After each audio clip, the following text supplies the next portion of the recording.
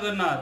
YouTube channel smile family ଓଡ଼ିଆକୁ ଆପଣମାନଙ୍କୁ ସ୍ୱାଗତ। ଭିଡ଼ିଓ ଆରମ୍ଭ କରିବା ପୂର୍ବରୁ ମୁଁ ଆପଣଙ୍କୁ ରିକ୍ୱେଷ୍ଟ କରିବି ଚ୍ୟାନେଲ ଯଦି ଦେଖୁଥାନ୍ତି ଭିଡ଼ିଓ ଯଦି ଆପଣଙ୍କୁ ଭଲ ଲାଗୁଥାଏ ତାହେଲେ ଭିଡ଼ିଓକୁ ଲାଇକ୍ କରିବା ସହିତ ଚ୍ୟାନେଲକୁ ସବସ୍କ୍ରାଇବ କରନ୍ତୁ। ପାଖରେ ଆସୁଥିବା ବେଲ୍ ଆଇକନ୍ ଦବାଇ ନୋଟିଫିକେସନ୍ ଅନ୍ ରଖିଥାନ୍ତୁ ଯେତେବେଳେ ମୁଁ ଭିଡ଼ିଓ ଅପଲୋଡ଼ କରିବି ନୋଟିଫିକେସନ୍ ଆପଣମାନଙ୍କୁ ମିଳିଯିବ ଏବଂ ସବୁବେଳେ ଚେଷ୍ଟା କରିବେ।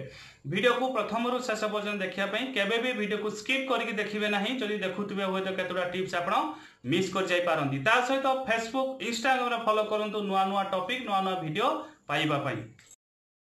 ଆଜି ଆମେ ଆଲୋଚନା କରିବା ଯେମିତି ଆପଣମାନଙ୍କର ହ୍ୱାଟ୍ସଅପ୍ ବାରମ୍ବାର ରହୁଛି କି ସାର୍ ଗାଢ଼ା କେମିତି କରାଯାଏ ଏବଂ ଯଦି କାଶ ଥଣ୍ଡା ବା ତଣ୍ଟି ଦରଜ ଏସବୁ ସମସ୍ୟାର କେମିତି ମୁକ୍ତି ମିଳିବ ଏବଂ କେମିତି ଗାଢ଼ା ଆମେ ପ୍ରସ୍ତୁତ କରି ପିଇବା। ତ ନିଶ୍ଚିତ ଆପଣମାନେ ଯେମିତି ଜାଣନ୍ତି ବର୍ତ୍ତମାନ ଯେଉଁ କରୋନା ମହାମାରୀ ସମୟରେ ପାଣିପାଗର ପରିବର୍ତ୍ତନ ଯୋଗୁଁ ଅନେକ ସମସ୍ୟା ଦେଖାଯାଉଛି। କିନ୍ତୁ ଏବେ କରୋନା ମହାମାରୀ ଯୋଗୁଁ କାଶ ଥଣ୍ଡା ଗଳା ଦରଜ ହେଲେ ଲୋକ ଭୟଭୀତ ହେଇଯାଉଛନ୍ତି। ଏବଂ ଯେମିତି ଜାଣନ୍ତି ଯଦି କାହାକୁ ଗୋଟେ ଥଣ୍ଡା ହେଇଯାଉଛି ଲୋକମାନେ ଭାବୁଛନ୍ତି ତାକୁ କ'ଣ କରୋନା ହେଇଯାଉଛି। ତ ନିଶ୍ଚିତ ଏସବୁ ଜିନିଷ କିଛି ଆପଣ ଡରିବାର ନାହିଁ। ଯଦି ବା ଆପଣଙ୍କୁ ଥଣ୍ଡା କାଶ ହେଉଛି ତାହେଲେ ନିଜେ ମଧ୍ୟ ଆପଣ ଗାଢ଼ା ପ୍ରସ୍ତୁତ କରି ଘରେ ପିଅନ୍ତୁ ଦେଖିବେ ନିଶ୍ଚିତ ମଧ୍ୟ ଆପଣଙ୍କୁ ଉପଶମ ମିଳିବ। ଏବଂ ଯେମିତି ଜାଣନ୍ତି କି ଯଦି ତଣ୍ଟି ଦରଜ ହୁଏ ତ ନିଦ ମଧ୍ୟ ହୋଇନଥାଏ। ଯଦି ଆପଣ ତଣ୍ଟି ବଥା କରେ ବା ତଣ୍ଟି ଯଦି କୁଣ୍ଡେଇ ହୁଏ କଫ ବସିଯାଏ ତାହେଲେ ମଧ୍ୟ ଆପଣ ନିଦ ହୋଇନଥାଏ ଏବଂ କଫ ଜନିତ କାଶ ହେଲେ ଶ୍ୱାସ ସମ୍ବନ୍ଧୀୟ ସମସ୍ୟା ମଧ୍ୟ ବଢ଼ିଯାଇଥାଏ। ଏବଂ ଆପଣମାନେ ଯେମିତି ଜାଣନ୍ତି କି ଅନେକ କାଶ ସମସ୍ୟାର ମୁକ୍ତି ପାଇବା ପାଇଁ କଫ୍ ସିରପ୍ ମଧ୍ୟ ବ୍ୟବହାର କରନ୍ତି। କିନ୍ତୁ ଯାହାକି ଶରୀର ପାଇଁ ହାନିକାରକ କାରଣ ଆପଣ ଜାଣନ୍ତି କି ଯଦି ଆପଣ କେଉଁଠୁ କାଶ କଫ ହେଉଛି ବା ଥଣ୍ଡା ହେଉଛି ସାଙ୍ଗେ ସାଙ୍ଗେ ଆପଣ କ'ଣ କରନ୍ତି? କଫ୍ ସିରପ୍ କହିକି ପିଇ ଆଣିକି ଖାଆନ୍ତି। କିନ୍ତୁ କଫ୍ ସିରପ୍ ବେଶୀ ୟୁଜ୍ କରିବା ଆପଣ ଶରୀର ପାଇଁ ହାନିକାରକ। ତେଣୁ କଫ୍ ସିରପ୍ ପିଇବା ଅପେକ୍ଷା ଆପଣ ନିଜେ ଘରେ ଗାଢ଼ା ପ୍ରସ୍ତୁତ କରନ୍ତୁ ଦେଖିବେ ନିଶ୍ଚିତ ଆପଣଙ୍କୁ ଏସବୁ ରୋଗରୁ ମଧ୍ୟ ମୁକ୍ତି ମିଳିବ। ଏବଂ କଫ୍ ସିରପ୍ ବ୍ୟବହାର କରିବା ଦ୍ୱାରା କାଶ ତ ଭଲ ହୋଇଯାଏ କିନ୍ତୁ ଏହା ଶରୀରର ଶିରା ପ୍ରସାରରେ ପହଞ୍ଚି ସେଗୁଡ଼ିକ କ୍ଷତି ପହଞ୍ଚାଏ। ଯଦି ଏଥିରୁ ଆରାମ ପାଇବାକୁ ଚାହୁଁଛନ୍ତି ତେବେ ଘରୋଇ କାଢ଼ା ପିଇବା ଦ୍ୱାରା ଶରୀରକୁ ମଧ୍ୟ ଫାଇଦା ଦେଇଥାଏ। ଏବଂ ଏହି ଗାଢ଼ା ପ୍ରସ୍ତୁତ କରିବା ପାଇଁ ପାଣିରେ ହଳଦୀ ପକାଇ ସେଥିରେ ଚା ପତି ପକାନ୍ତୁ। ଏହାପରେ ସେଥିରେ ଅଦା ଖଣ୍ଡ ପକାଇ ତାକୁ ଭଲ ଭାବରେ ଫୁଟାଇ ଦିଅନ୍ତୁ।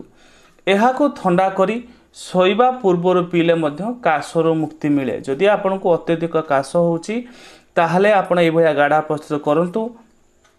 ଆପଣଙ୍କୁ କାଶରୁ ମଧ୍ୟ ମୁକ୍ତି ମିଳିବ। ଗୁଡ଼କୁ ଭଲ ଭାବରେ କୁଟି ଫୁଟୁଥିବା ପାଣିରେ ପକାନ୍ତୁ। କିଛି ସମୟ ପରେ ଏଥିରେ ଜୁଆଣି ପକାଇ ମଧ୍ୟ ଭଲ ଭାବେ ଫୁଟାଇ ଦିଅନ୍ତୁ ଏବଂ ଏହାକୁ ଉଷୁମ ଉଷୁମ ପିଇବା ପାଇଁ ପିଇବା ଦ୍ୱାରା ମଧ୍ୟ ଆପଣଙ୍କୁ କାଶରୁ ମଧ୍ୟ ମୁକ୍ତି ମିଳିବ। ଦୁଇ କପ୍ ପାଣିକୁ ଭଲ ଭାବେ ଫୁଟାଇ ସେଥିରେ ଅଦା ମହୁ ପକାଇ ଭଲ ଭାବେ ଫୁଟାଇବା ପରେ ଏଥିରେ ଆପଣ ଛାଣି ନେବେ ଏବଂ ତାକୁ ପିଇବା ପାଇଁ ପିଅନ୍ତୁ ଦେଖିବେ ନିଶ୍ଚିତ ମଧ୍ୟ ଉପଶମ ଆପଣଙ୍କୁ ମଧ୍ୟ ମିଳିବ। ତୁଳସୀ ଅଦାକୁ ପାଣିରେ ମିଶାଇ ଦିଅନ୍ତୁ ଏବଂ ତାପରେ ଗୋଲମରିଚ ପକାଇ ଭଲ ଭାବରେ ମିଶାଇ ଏହି ପାଣିକୁ ପିଇଲେ ମଧ୍ୟ ଫାଇଦା ମିଳିବ। ଏବଂ ଆପଣ ଯଦି ଚାହୁଁଛନ୍ତି ଗାଢ଼ା ମାନେ ସବୁ ରୋଗ ପାଇଁ ଏଇଟା ଯେଉଁ କହିଲି ଆପଣଙ୍କୁ ବନେଇବା ଏଗୁଡ଼ା ହେଉଛି କାଶ କିମ୍ବା କଫ ଯଦି ଜମୁଛି ତାହେଲେ ଆପଣ ଏଇଭଳିଆ କରିବେ। ଏବଂ ନର୍ମାଲି ଆପଣ ଯଦି ଗାଢ଼ା ଗୋଟେ ପ୍ରସ୍ତୁତ କରିବା ପାଇଁ ଚାହୁଁଛନ୍ତି ବା ପିଇବା ପାଇଁ ଚାହୁଁଛନ୍ତି ପ୍ରଥମେ ମନେ ରଖନ୍ତୁ ଗ୍ୟାସ୍ରେ ଆପଣ ପାଣି ବସାନ୍ତୁ। ଆପଣଙ୍କର ଘରୋଇ ଲୋକ ଅନୁସାରେ ଆପଣ ଗାଢ଼ା ବନେଇ ପାରିବେ। ଯଦି ଆପଣ ଗୋଟେ କପ୍ ନେଉଛନ୍ତି ମଧ୍ୟ ବନେଇ ପାରିବେ କିମ୍ବା ଆପଣ ପ୍ରତ୍ୟେକ ଘର ଲୋକମାନଙ୍କ ପାଇଁ ଯଦି ବନାଉଛନ୍ତି ତାହେଲେ ଆପଣ ଲୋକ ହିସାବରେ ମଧ୍ୟ କପ୍ ଲେଖା ପାଣି ଆପଣ ଦେବେ। ଏବଂ ଗୋଟେ ଗ୍ଲାସ୍ ଆପଣ ପାଣି ଏକ୍ସଟ୍ରା ଦେବେ। ଧରନ୍ତୁ ଲୋକ ଆପଣଙ୍କର ପାଞ୍ଚ ଜଣ ଅଛନ୍ତି ଛଅ ଗ୍ଲାସ୍ ପାଣି ଆପଣ ନେବେ। ଏବଂ ଛଅ ଗ୍ଲାସ୍ ପାଣି ନେଲା ପରେ ପାଣି ଆଗେ ଫୁଟାଇବା ପାଇଁ ଦିଅନ୍ତୁ। ସେଥିରେ ଆପଣ ମନେ ରଖନ୍ତୁ ପ୍ରଥମେ ଆପଣ ତେଜପତ୍ର ପକାଇ ପାରିବେ ଅଦା ପକାଇ ପାରିବେ। ଅଦା ଯେଉଁ ପକାଇବେ ଛେଚି ଦେବେ ବେଟର୍ ହେବ। ଗୋଲମରିଚ ପକାଇ ପାରିବେ ଲବଙ୍ଗ ପକାଇ ପାରିବେ। ଆପଣଙ୍କର ଡାଲଚିନି ମଧ୍ୟ ପକାଇ ପାରିବେ। ହଳଦୀ ପକାଇ ପାରିବେ। ହଳଦୀ ଚେଷ୍ଟା କରିବେ ଯଦି ଆପଣ ବାଡ଼ି ବଗିଚାରେ ହଳଦୀ ଦେଶୀ ହଳଦୀ ଯେଉଁଟାକି ଆମର କୁହାଯାଏ ଖଣ୍ଡ ହଳଦୀ ଯଦି ମିଳୁଛି ଭଲ କିମ୍ବା ଭଲ ବ୍ରାଣ୍ଡର ମଧ୍ୟ ହଳଦୀ ଗୁଣ୍ଡ ବ୍ୟବହାର କରିବେ ଏବଂ ଯେଉଁଦ୍ୱାରା କି ମଧ୍ୟ ଆପଣଙ୍କୁ ଭଲ ଲାଭ ମିଳିବ। ଏଇସବୁ ଜିନିଷ ପକାଇବେ ଏବଂ ତା ସହିତ ଆପଣ ଯଦି ପାରିବେ ନିମ୍ବପତ୍ର ମଧ୍ୟ ପକାଇ ପାରିବେ ଏବଂ ତୁଳସୀ ପତ୍ର ମଧ୍ୟ ପକାଇ ପାରିବେ। ତେଣୁ ଆକୁ ଭଲ ଭାବରେ ପକାଇଲା ପରେ ପାଣିଟିକୁ ଫୁଟେଇ ଦେବେ। ଫୁଟେଇ ସାରିଲା ପରେ ଯେତେବେଳେ ଆପଣ ପାଣି ଫୁଟିଯିବ ପୁରା ଟପ୍ ଟପ୍ ଫୁଟିବ ବେଶୀ ନାହିଁ ପାଞ୍ଚ ମିନିଟରୁ ସାତ ମିନିଟ୍ ଆପଣ ଫୁଟାନ୍ତୁ। ଫୁଟିଲା ପରେ ଯଦି ଚାହା ଆପଣ ପିଉଥିବେ ଚାହା ମଧ୍ୟ ଆପଣ ସେଥିରେ ଗୁଣ୍ଡ ପକାଇ ପାରିବେ। ଯଦି ଆପଣ ଚାହା ପିଅନ୍ତି ନାହିଁ ଚାହା ନ ପକାଇଲେ ମଧ୍ୟ ବି ଚଳିବ। ଆପଣ ଯେତେବେଳେ ପାଣିଟି ଫୁଟି ଆସିବ ସେତେବେଳେ କ'ଣ କରିବେ? ଗୋଲମରିଚ ଗୁଣ୍ଡ ଟିକେ ପକାଇବେ ଏବଂ ଗୋଲମରିଚ ଗୁଣ୍ଡ ଯାହା ସାଧାରଣତଃ କ'ଣ ହୁଏ? ଟିକେ ପାଟି ରାଗ ଲାଗେ ତେଣୁ ଆପଣ ଯେତିକି ଖାଇପାରିବେ ବା ଯେ ରାଗ ଯଦି ଖାଆନ୍ତି ତାହେଲେ କିଛି ଅସୁବିଧା ନାହିଁ କିନ୍ତୁ ଯଦି ଛୋଟ ଛୋଟ ଛୁଆମାନେ ଖାଇବେ ବା ଘର କୌଣସି ବୟସ୍କ ଲୋକ ଖାଇବେ ତେଣୁ ଟିକେ କମ୍ ମାତ୍ରାରେ ପକାଇବେ କିମ୍ବା ଆପଣ ଏମିତି କରିପାରିବେ ଆପଣ ଯଦି ଆପଣ ଖାଆନ୍ତି ତାହେଲେ ଆପଣ ଗ୍ଲାସ୍ରେ ପକାଇବେ ସେମାନେ ଗ୍ଲାସ୍ରେ ମଧ୍ୟ ଟିକେ ହାଲକା ଗୁଣ୍ଡ ପକାଇକି ଦେବେ ଏବଂ ପାଣିଟିକୁ ଛାଣି ନେବେ। ଛାଣି ନେଇ ସାରିଲା ପରେ ଆପଣ ସେଥିରେ ମହୁ ମିଶାଇ ପାରିବେ ମହୁ ଆପଣ ଗୋଟେ ଚାମଚ ହାଫ୍ ଚାମଚ ଗୋଟେ କପ୍ରେ ମିଶାନ୍ତୁ। ତା ସହିତ ଲେମ୍ବୁ। ଲେମ୍ବୁ ମଧ୍ୟ ଆପଣ ସେଥିରେ ଟିକେ ଚିପୁଡ଼ି ଦିଅନ୍ତୁ। ଲେମ୍ବୁ ଯଦି ପାରିବେ ଫାଳେ ମଧ୍ୟ ଚିପୁଡ଼ି ପାରିବେ। ଏବଂ ତା ସହିତ ପାଣିଟିକୁ ଯେତେବେଳେ ଆପଣ ଚେଷ୍ଟା କରିବେ ଉଷୁମ ଉଷୁମ ପିଇବା ପାଇଁ। ମାନେ ଥଣ୍ଡା କରି କେବେ ପିଇବେନି ଗାଢ଼ା। କାରଣ ଥଣ୍ଡା କରି ଯଦି ଆପଣ ଗାଢ଼ା ପିଇବେ ତାହେଲେ କିଛି ଲାଭ ମିଳିବନି। ତେଣୁ ଆପଣ ଯେତେବେଳେ ପିଇବେ ପାଣି ଟିକେ ଉଷୁମ ହେଇଥିବା ଦରକାର। ଏବଂ ଏହି ଗାଢ଼ାକୁ ଆପଣ ସକାଳୁ ସନ୍ଧ୍ୟା ଦୁଇଥର ମଧ୍ୟ ପିଅନ୍ତୁ। ଦେଖିବେ ଆପଣଙ୍କୁ ବହୁତ କିଛି ମିଳିବ। ଏବଂ ଗାଢ଼ା ଯେଉଁମାନେ ବି ପିଉଥିବେ ବୋଧେ ଜାଣୁଥିବେ ସେମାନଙ୍କ ଦେହରେ ଗୋଟେ ଅଲଗା ପ୍ରକାରର ଶକ୍ତି ବା ଅଲଗା ପ୍ରକାରର ଗୋଟେ ଗୋଟେ ଜଣାପଡ଼ିବ କାରଣ ଗାଢ଼ା ପିଇବା ଦ୍ୱାରା ଯେମିତି ଜାଣନ୍ତି ସବୁ ଜିନିଷ ସେଥିରେ ଇନଭଲ୍ଭ ଥାଏ ଯେମିତି ଆପଣମାନେ ପିଇଲା ପରେ ଜାଣିବେ ଏବଂ ସାଧାରଣତଃ ଫ୍ୟାଟ୍ ଯେଉଁମାନଙ୍କର ମଧ୍ୟ ଚର୍ବି ମଧ୍ୟ ଅତ୍ୟଧିକ ବଢ଼ିଯାଉଛି ସେମାନେ ନିହାତି ତ ଗାଢ଼ା ପିଇବା ଦରକାର ଏବଂ ଗାଢ଼ାକୁ ଇମ୍ୟୁନିଟି ଷ୍ଟ୍ରଙ୍ଗ ପାଇଁ ମଧ୍ୟ ଆପଣମାନେ ବ୍ୟବହାର କରନ୍ତୁ। ଦେଖିବେ କିଛି ନାହିଁ ନର୍ମାଲି ଆମ ବାଡ଼ି ବଗିଚାରେ କିମ୍ବା ଆମ ଆଖପାଖରେ ଯେଉଁ ଜିନିଷ ଅଛି ଆପଣ ସେଇଥିରେ ବନାନ୍ତୁ ବା ଗାଢ଼ା ଆପଣ ନିଜେ ସ୍ୱାଦ ଅନୁସାରେ ମଧ୍ୟ ବନେଇ ପାରିବେ।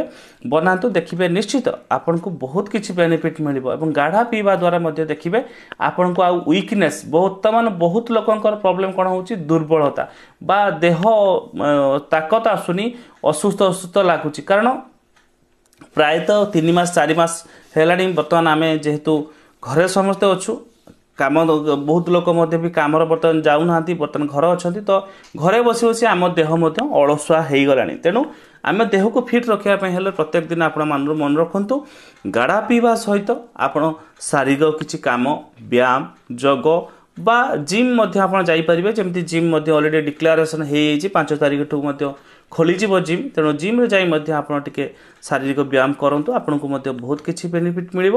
ଏବଂ ଯଦି ଚାହୁଁଛନ୍ତି ଭବିଷ୍ୟତରେ ସୁସ୍ଥ ରହିବା ପାଇଁ ବା ଆଗକୁ ବଞ୍ଚିବା ପାଇଁ ଏବେଠୁ ଆପଣ ଆପଣଙ୍କ ଦେହକୁ ଟିକେ ଯତ୍ନ ନିଅନ୍ତୁ। ଦେଖିବେ ନିଶ୍ଚିତ ଆପଣଙ୍କୁ କୌଣସି ରୋଗ ମଧ୍ୟ ହେବ ନାହିଁ ଏବଂ ଆପଣ ସୁସ୍ଥ ସବଳ ହିଁ ରହିବେ। ତେଣୁ ଗାଢ଼ା ଆପଣ ନିଶ୍ଚିତ ଘରେ ମଧ୍ୟ ତିଆରି କରନ୍ତୁ ଏବଂ ଭଉଣୀମାନଙ୍କୁ ବା ମାଆମାନଙ୍କୁ କହିବା ପାଇଁ ଚାହୁଁଛି ଗାଢ଼ା ଆପଣ ପ୍ରତ୍ୟେକ ଦିନ ବନେଇକି ଆପଣ ପରିବାରଙ୍କୁ ଆପଣ ଦିଅନ୍ତୁ। ଦେଖିବେ ସେମାନଙ୍କ ମଧ୍ୟ ଦେହ ଭଲ ରହିବ। ଥଣ୍ଡା କଫ ଜ୍ୱର ମଧ୍ୟ କାହାକୁ ହେବ ନାହିଁ। ବା ଯଦି ସମସ୍ୟା ଆସୁଥାଏ ଆପଣ କଣ୍ଟିନ୍ୟୁସଲି ଗାଢ଼ା ପିଇବା ଦ୍ୱାରା ଦେଖିବେ ଥଣ୍ଡା କଫ ଜ୍ୱର ଆପଣଙ୍କୁ ଆସ୍ତେ ଆସ୍ତେ ଭଲ ହେବା ପାଇଁ ଲାଗିବ। ତେଣୁ ଗାଢ଼ା ଆମ ପାଇଁ ଗୋଟେ ବହୁତ ବଢ଼ିଆ ଜିନିଷ। ନିଶ୍ଚିତ ମଧ୍ୟ ଆପଣ ସବୁଦିନ ପିଅନ୍ତୁ ଆପଣଙ୍କୁ ମଧ୍ୟ ଭଲ ଲାଭ ମିଳିବ। ତା ସହିତ ଗାଢ଼ା ସହିତ ମଧ୍ୟ ଶୁଣ୍ଠି ପିମ୍ପିଳି ଏସବୁ ଜିନିଷ ମଧ୍ୟ ବି ଆପଣ ମିଶାଇ ପାରିବେ। ତେଣୁ ଗାଢ଼ା ଆପଣ ପ୍ରସ୍ତୁତ କରିବା ନର୍ମାଲି କୌଣସି ବଡ଼ ଜିନିଷ ନୁହଁ। ଆପଣ ପାଣି ଫୁଟିବ ସେଥିରେ ଗୋଟେ ଗୋଟେ ଜିନିଷ ଆପଣ ପକାଇ ପକାଇ ଚାଲିବେ। ଇଏ ହେଉଛି ଜିନିଷ। ଆପଣ ନିଶ୍ଚିତ ଆପଣ ପକାଇକି ପିଅନ୍ତୁ ଦେଖିବେ। ପିଇଲା ପରେ ଆପଣ ଜାଣିପାରିବେ ତାର ବେନିଫିଟ୍ କ'ଣ ତା ସହିତ ଆପଣମାନଙ୍କୁ କହିବା ପାଇଁ ଚାହୁଁଛି ଯଦି ୟୁଟ୍ୟୁବ୍ ଚ୍ୟାନେଲ୍ ମୋର ଦେଖୁଛନ୍ତି ଯଦି ଆପଣମାନଙ୍କୁ ଭିଡ଼ିଓ ଗୁଡ଼ିକ ଭଲ ଲାଗୁଛି ତାହେଲେ ଭିଡ଼ିଓ ଗୁଡ଼ିକ ଲାଇକ୍ କରିବା ସହିତ ଚ୍ୟାନେଲ୍କୁ ସବସ୍କ୍ରାଇବ୍ କରିବେ ଭିଡ଼ିଓକୁ ମଧ୍ୟ ସେୟାର କରିବେ ଏବଂ କମେଣ୍ଟ ଦେବା ପାଇଁ ଭୁଲି ଯାଉଛନ୍ତି ଯଦି ଭଲ ଲାଗୁଛି ଆପଣ ଭଲ କମେଣ୍ଟ ଦେଇପାରିବେ ଯଦି ଖରାପ ଲାଗୁଛି ଆପଣ ଖରାପ କମେଣ୍ଟ ଦେଇପାରିବେ କିଛି ଅସୁବିଧା ନାହିଁ ଏବଂ ଲାଇକ୍ କରିବା ପାଇଁ ମଧ୍ୟ ଭୁଲନ୍ତୁ ନାହିଁ ଲାଇକ୍ କରିବା ପାଇଁ ମଧ୍ୟ ଆପଣମାନେ ଭୁଲି ଯାଉଛନ୍ତି ତେଣୁ ଲାଇକ୍ ମଧ୍ୟ କରିବେ ତା ସହିତ ଯଦି ଆପଣ ଲାଇଫ୍ରେ କିଛି ବି ସମସ୍ୟା କିଛି ପ୍ରୋବ୍ଲେମ୍ ଚାଲୁଛି ଯଦି ମୋ ସହିତ ଆପଣମାନେ କଥା ହେବା ପାଇଁ ଚାହୁଁଛନ୍ତି ୟୁଟ୍ୟୁବ୍ରେ ମୋ ନମ୍ବର ମଧ୍ୟ ପାଇଯିବେ। ଆପଣମାନେ ନିଶ୍ଚିତ ଆପଣଙ୍କର ପ୍ରୋବ୍ଲେମ୍ ମୋତେ ହ୍ୱାଟ୍ସଅପ୍ କରନ୍ତୁ। ହ୍ୱାଟ୍ସଅପ୍ କରିବେ କଲ୍ କରିବେ ନାହିଁ କାରଣ ଏତେ ଜଣଙ୍କର କଲ୍ ରିସିଭ୍ କରିବା ସମ୍ଭବ ନୁହଁ। ହ୍ୱାଟ୍ସଅପ୍ କଲ୍ କରନ୍ତୁ ସମୟ ପାଇଲେ ନିଶ୍ଚିତ ମୁଁ ଆପଣଙ୍କୁ ରିପ୍ଲାଏ କରିବି ଏବଂ ଆପଣଙ୍କ ସହିତ ମଧ୍ୟ କଥା ହେବି। ଏବଂ ଯଦି ଭିଡ଼ିଓଟି ଭଲ ଲାଗିଥାଏ ଆପଣଙ୍କୁ ଭିଡ଼ିଓକୁ ମଧ୍ୟ ବହୁତ ମାତ୍ରାରେ ସେୟାର କରିବେ ଯେମିତି ଆପଣ ଦେଖି ବେନିଫିଟ୍ ପାଇଲେ ହୁଏତ ଅନ୍ୟ କୌଣସି ଲୋକଟି ମଧ୍ୟ बेनिफिट पाइब। धन्यवाद नमस्कार जय